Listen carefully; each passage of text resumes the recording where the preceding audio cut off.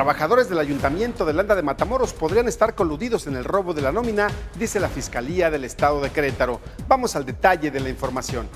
En la investigación del robo a la nómina del Ayuntamiento de Landa de Matamoros, se ha abierto una línea de investigación que sugiere la posibilidad de que los responsables del traslado del dinero, es decir, personal del propio ayuntamiento, pudieran estar coludidos en el delito. Así lo dio a conocer el fiscal general del Estado, Alejandro Echeverría Cornejo.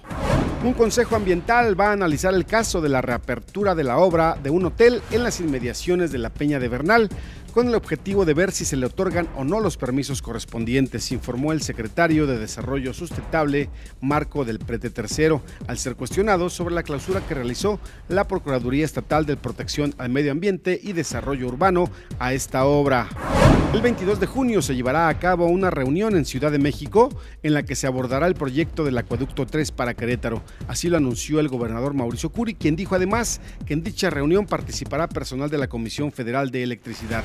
El gobierno estatal espera todavía la asignación del agua potable de la presa de Simapán.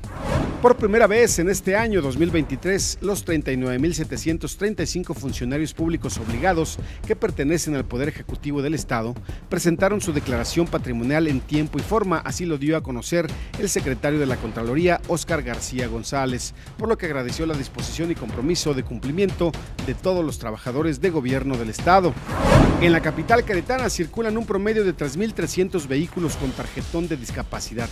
Este año se han otorgado solamente 60 aunque de los espacios asignados en el primer cuadro, por lo menos el 30% son utilizados por personas que no tienen ninguna discapacidad, informó el director del Instituto Municipal para Prevenir y Eliminar la Discriminación, Ricardo Yáñez.